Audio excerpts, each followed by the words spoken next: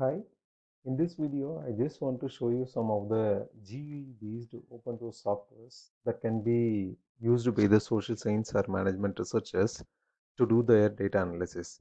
So starting from descriptives to uh, even including meta-analysis, one can do with the help of this jamovi. Uh, this is one of the free and open source software.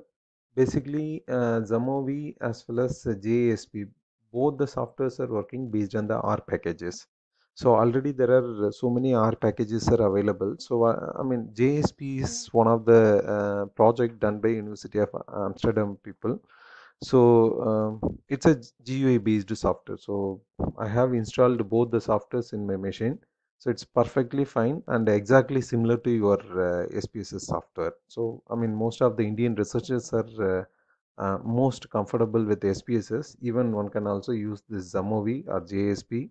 So the menus and then window everything is exactly similar to SPSS only and then you can also make use of blue sky statistics software this is also exactly uh, similar to spss menus but yes here and there you have some issues like uh, some of the features may not be available here um, uh, uh, this is also another uh, wonderful tool. Even i have installed this particular software in my machine. So it's completely open source. Um, and then you have the sofa statistics. This is also uh, kind of free software only but you don't have much uh, features here. Uh, even i have not used this particular software uh, past is another uh, free source software open source software. Here uh, you can do data manipulation plotting univariate and then multivariate statistics. Usually um, even time series and then spatial analysis uh, this kind of analysis can be done with the help of uh, past uh, software. So you can also make use of this particular software. It's completely free.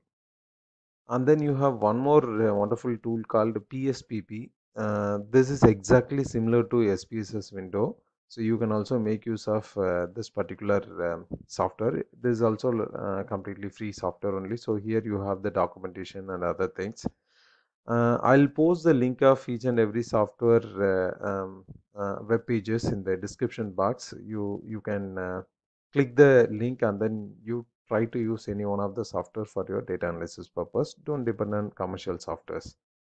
Thanks for watching this video.